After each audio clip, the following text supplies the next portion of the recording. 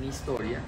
Eh, el homicidio del reconocido estilista Mauricio Leal y su madre Marlene Hernández sigue en controversia.